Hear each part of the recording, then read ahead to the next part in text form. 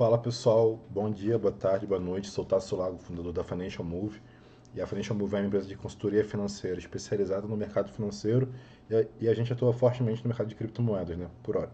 É, a ideia aqui é mais uma série daqueles é, dos vídeos de escola do trader, tá?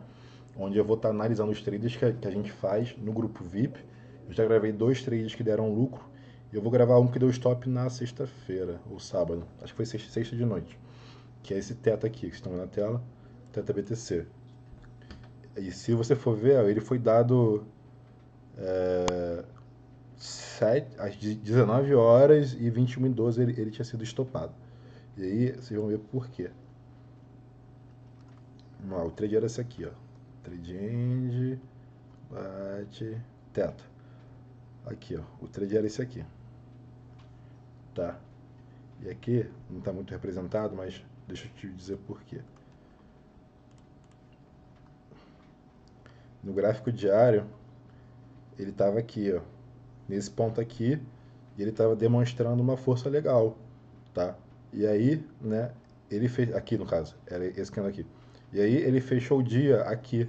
Então, para mim, no diário ele perdeu essa média aqui, que é de 20, para média exponencial de 20, aqui ele já aciona uma venda, porque para mim, quando perde aqui para o diário, ele tende a buscar outra média, que é essa aqui, de 50, tá? Na minha forma de ler o gráfico. Mas aí eu não leio só isso, eu leio tudo. Então, eu li também no 4 horas, ele fechou aqui acima, que foi a, a minha compra, depois ele fez um candlezinho, não foi tanto de reversão, mas fez um candlezinho, e aqui ele perdeu. Aqui para mim ele perdeu as, as três médias aqui, para mim é um, é um forte sinal de que vai dar merda. Então eu sou meio diário e o 4 horas. Mas, e aí eu estopei aqui, ó. Cadê? No VIP. Eu falo aqui, cadê o teta? Ó. Pessoal, por fora do, da teta, estou, não estou gostando do, do desenvolver. Por quê? É, o meu stop era abaixo disso. Cadê o bot? Cadê o bot? O meu stop da teta era abaixo disso. Era lá em 2,860, de menos 5%. Eu estopei em 3,5%. Então, ou seja, quando você errar o seu stop, quando você errar o trade, que você erre pequeno. Então, eu preferi estopar antes e tive um prejuízo menor. E se você for ver agora, ó, tá lá em 2,714.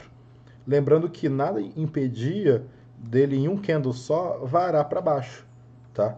Então, eu saí aqui, tá? E agora o preço está aqui. Em suma, eu vi o price action, que é a dinâmica, a dinâmica dos candles junto com meus gráficos indicadores. E eu até mudei muito a minha forma de ver, porque se você for ver, eu basicamente não, não olho tanto RSI nem MACD.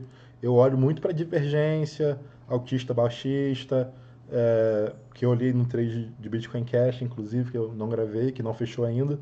Mas aqui eu vou falar porque que eu dei, né? lá no, no diário, pensando que não estopou, tá?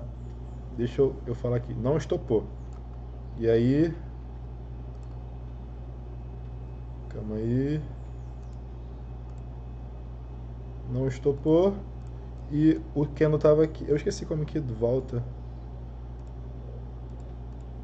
Não, não é que não. Eu esqueci o replay. Nossa, esqueci esse alarme.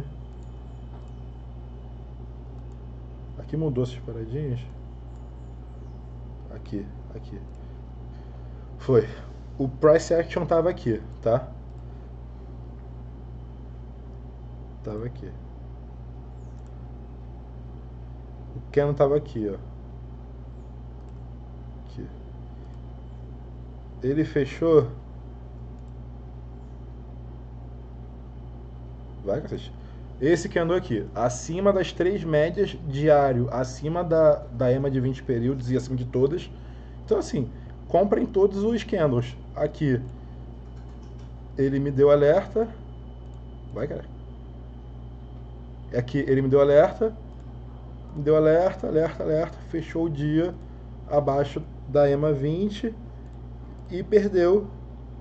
Aqui eu estopei. Aqui para mim já era stop porque ele tenderia a buscar isso aqui e é isso que ele está fazendo. Tá? Eu dei a compra aqui, dei os alvos aqui, ó, para cá, primeira zona de, de congestão, depois para o segundo topo aqui, aqui e depois lá em cima, entendeu? Eu poderia deixar até mais, tá? Isso aqui é um, um post que eu fiz porque a teta explodiu, tá? Se você for ver, a teta fez essa... Aí todo mundo fica, nossa, que 100%, 200%. Só que tem gente que compra aqui, ó. Eu falo que nenhum de vocês que me segue comprou aqui, porque eu sempre falo, cara, se subiu bastante, esquece. Vai para outro ativo.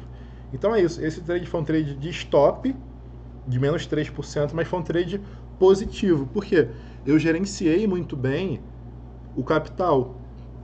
É, eu estopei pelo price action antes do meu stop e soube sair. Eu, eu economizei 2% de stop, tá? E é muita coisa. Então, meu, meus alvos eram assimétricos para o meu trade, eu sei quase 3 para 1 aqui. E é isso, galera. Acho que esse foi um trade que eu, eu não conto só a vitória, eu conto quando dá errado. Existe isso. Quem te vende lenda que não existe é mito. Existe, tá?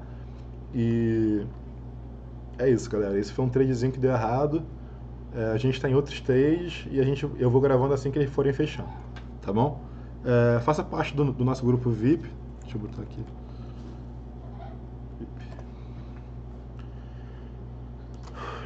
Onde você vai ter acesso a esse nível de, de informação né, dada por mim. E a gente tem uma média de 14 trades por mês, tá? Mas cada mês é um mês. Tem mês que vai ter mais, tem mês que vai ter menos. Análises exclusivas, trades locativos e esporte profissional. Esses foram os resultados. Lembrando que tem mês abaixo de zero, então se prepare, entre pensando no longo prazo. E esses são aqui os, os, os preços para você ter como investimento. Meu foco é maximizar Bitcoin, tá? Maximizar o número de Bitcoins que você tem na sua carteira. Não quero saber de dólar. Foco, se você quiser dólar, entra aqui no Forex, que é esse, serviço. Papagaio perdeu. ah, foi mal. Aqui. Shhh. Fred. É... Aqui. Entra aqui no, no Forex que é em dólar na Bolsa de Londres. Acabou, chega. O cara já destruiu todo o vídeo já. Abraço. Tchau.